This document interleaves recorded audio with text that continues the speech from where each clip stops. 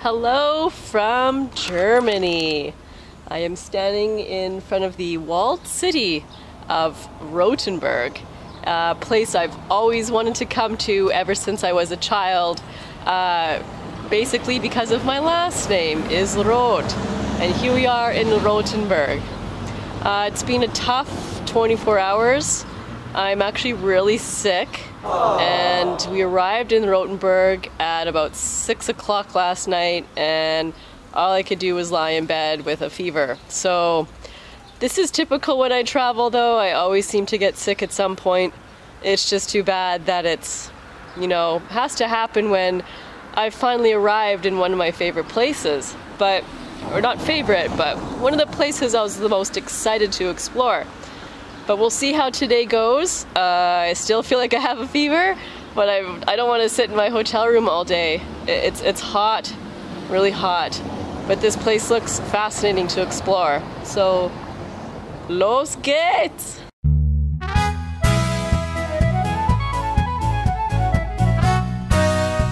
Rothenburg is located about halfway between Frankfurt and Munich and is known as Germany's best preserved medieval walled town. Many buildings in the town center were constructed between the 12th and 14th centuries, which makes it feel like you're stepping back in time.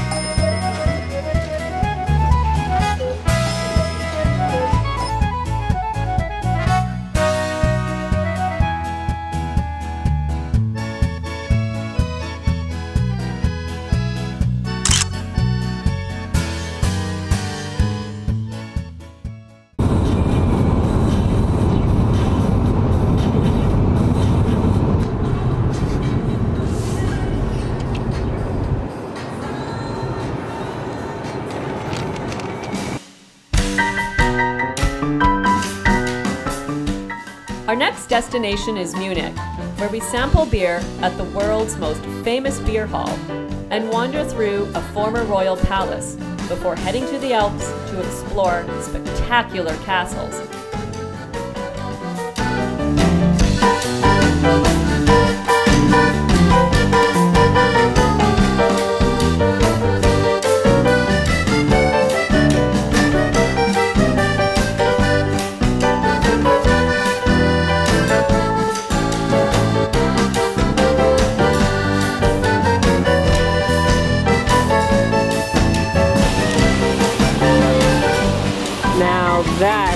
Is a castle.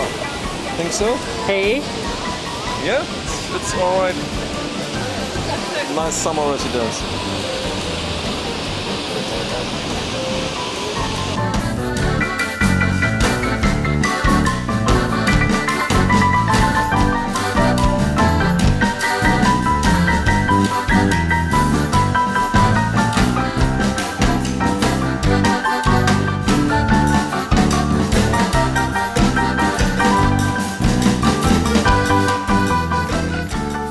Hello from Austria.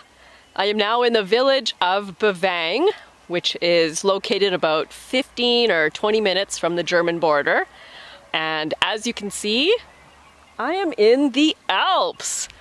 I love mountains, so I am in my happy place. All I can hear is the sound of birds chirping and some cowbells clanging in the distance. This place is just mwah, perfect. Our final destination is to the highest peak in Germany, the Zugspitze, at 2,692 meters. But there's no need to hike up this mountain when a cable car can get you to the top in 10 minutes. Give it.